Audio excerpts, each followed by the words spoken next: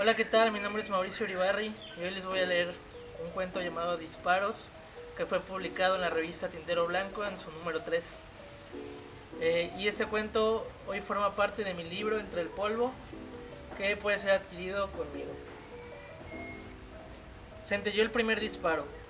No fue muy ruidoso. Así serán los que vendrán. La cantidad es impredecible, pero depende de mí en su totalidad. Se acabarán en el momento en que ya no pueda soportarlos por más tiempo. Solo tengo que mantenerme inmóvil, erguido y con los brazos rectos caídos a los costados. No puedo cerrar los ojos. Debo mantenerlos abiertos y dirigir la mirada a cada uno de ellos, como si fuera la presa que parece encariñarse con el cazador que la está justiciando. Hasta ahora no me había puesto a pensar en mis logros en lo que he pasado para llegar hasta aquí. Desde que empezaron los disparos, lo único que me quedaba por hacer era recordar o imaginar los momentos que podía estar viviendo ahora en otro lugar. Me decidí por lo primero. Nací en un pueblo de cuyo nombre no quiero acordarme, pues eso no cambia los acontecimientos. Nunca fui sobresaliente y no representé una esperanza para nadie, ni siquiera para mis padres, así que nunca me preocupé por desilusionar a alguien. Para ellos solo existía Carolina, mi hermana a la que todo le salía bien. Tenía modales finos, era la primera en su clase y siempre se mostraba agradecida. Era de espíritu alegre y bastante hermosa. Lástima que enfermó de sida. Su destino y el mío cambiaron de forma radical. Por miedo a contagiarse, sus amigas se alejaron de ella y mi hermana se convirtió en carne de hospital. Yo, en cambio, me sentí indiferente hacia su enfermedad y por ello me di cuenta de mi fuerza. Su deterioro acabó formando el carácter que me ha guiado hasta hoy. Disparo. Fui concebido mediocre por el Creador y mi desarrollo también lo fue, por decisión propia. Esa es mi máxima cualidad. Me mantengo firme en mis decisiones y no retrocedo por ningún motivo. Mis estudios fueron como el agua, incoloros, inodoros e insípidos. Se escaparon como un brebaje entre mis dedos y no pude conservar algo valioso de ellos. No aprendí nada y no aprendieron nada de mí. El conocimiento me alcanzó en otros sitios. A los 16 años destacaba mi altenería y me perfilaba como uno de los grandes pillos de entre mis conocidos. Recuerdo un día de verano con el sol acomodado en la parte central del cielo. Mis padres ya no me daban dinero, pues destinaban gran parte a doctores y medicinas para Carolina y yo lo necesitaba para financiar mis vicios precoces decidí que por mi cuenta podía conseguir algunos billetes. Ahora me arrepiento porque la señora Remedios era una buena persona. Vivía cerca de mi hogar en una pequeña casa de color café, con la pintura raspada y un techo de lámina.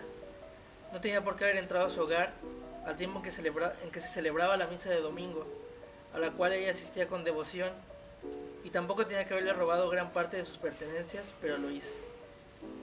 El dinero no me duró, no me duró mucho, lo convertí de inmediato en vino. Después de eso me vine a probar suerte a la capital. Disparo. En la capital conocí a Sebastián Palacios. Yo andaba por las calles tratando de ganarme la vida de la manera en que me fuera posible.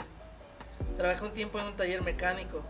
Después fui vendedor de periódicos, barrendero, chofer y un pepenador permanente. El día que lo encontré en la calle yo no era nadie. Él estaba muy ebrio y no podía moverse. Se encontraba tirado entre la basura.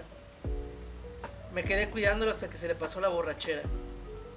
Por su vestimenta me di cuenta de que era parte del ejército. De tez morena, ojos pequeños, nariz grande, corte de casquete, el capitán Sebastián Palacio se convirtió en mi mejor amigo. Empezamos a vivir juntos y me puso de su chofer.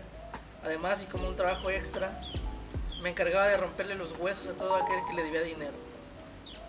En esas épocas, la capital experimentaba tiempos de cambio. En las calles se respiraba un ambiente pesado. El gobierno iba perdiendo fuerza y se esperaba un gran motín. Todas las noches me contaba las noticias del régimen, mientras estábamos entre las sábanas. Me, las decía de manera violenta a la vez que me jalaba el cabello. Sebastián me consideraba su confidente, su escucha.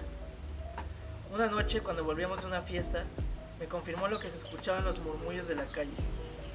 Sucedería lo que para ese momento era inevitable habría un golpe de Estado. Fue cuestión de meses para que ocurriera. La república sucumbió ante el ejército y el general del Toro se convirtió en el primer dictador desde, hace muchos siglos. Disparo. Me casé con la peor mujer que encontré, la más sucia, la más vulgar, la más fea y la que menos me ofrecía. Nunca entendí por qué lo hice. Había pasado un año desde que falleció Carolina y por ese motivo mi padre se consumió hasta la muerte. Abandoné al capitán Palacios y regresé a vivir con mi madre. Fue ahí en el pueblo de mi juventud donde conocí a mi esposa, una mujer espantosa que trabajaba en el peor bar del pueblo, el bar que yo más frecuentaba. Ahora que lo pienso, eso fue lo único que nos unía, el cariño al ambiente vomitivo que se encerraba en las cantinas de mala muerte, el apego a las caricias que nos daba el humo del cigarro y el roce con las mesas pegajosas. Nos fuimos a vivir juntos a un cuarto que tenía una cama tan pequeña que solo cabía ella, porque era bastante gorda. No teníamos mesa, usábamos un pedazo de la puerta rota del baño y la acomodábamos en el piso para comer sobre ella. Exprimí a mi madre quitándole la poca herencia que mi padre nos había dejado, aunque no le hice valer. Me resigné a vivir en la porquería hasta que un día todo cambió. Dos, tres disparos más.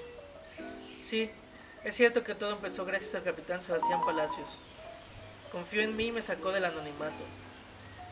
Antes de conocerlo a él, yo era un don nadie. Él me abrió las puertas del paraíso de la vida, de la vida que hasta ahora he llevado, desde el día en que me sacó del pueblo y pasé a ser el director de gobierno de la dictadura.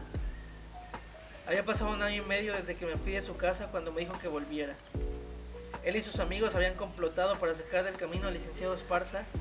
Necesitaban a alguien, dijeron, de su entera confianza en ese pueblo, en ese puesto. A alguien con un carácter fiero y que no escatimara en tener que realizar lo que fuera necesario para que ellos pudieran lograr sus cometidos. Yo era sin duda el indicado. Aunque mi logro principal se deba a otra persona, estoy satisfecho, pues me he sabido mantener todos estos años. ¿Y quién lo diría de un tipo como yo? Alguien que no tiene nada de especial, pero lo soy, no me da pena decirlo. Lo he demostrado. He hecho tanto por el régimen.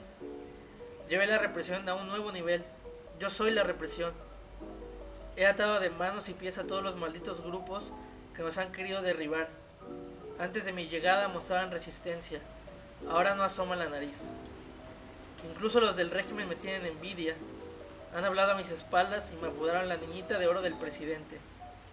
En el fondo saben que soy el hombre fuerte de la dictadura.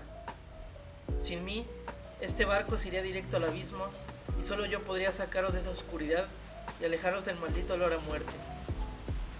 Acepté esa nueva vida. Me desprendí de mi mujer y con ella de mi pasado. La abandoné, la abandoné en la podredumbre, aquella que me estaba consumiendo. Pero ella no me importa, nunca lo hizo. Ni los falsos amigos que pretenden quererme, ni siquiera Sebastián Palacios, quien ya está en la mira. Ahora soy un nuevo ser. Voy de querida en querida, de botella en botella, de bacanal en bacanal, y aunque a veces suelo arrepentirme, no dejo de disfrutar de estos placeres. Incluso hoy en, día disfruto de dar la orden de robarle la vida a alguien. Nadie puede negar que he sido valiente y he hecho bien mi trabajo. De otro modo no estaré aquí en esta posición. Disparo. Y sigo inmóvil, erguido y con los brazos caídos a los costados. Se escuchan murmullos y los disparos continúan. Las luces provocadas por eso siguen frente a mi rostro. ¿Cuánto tiempo estuve ausente?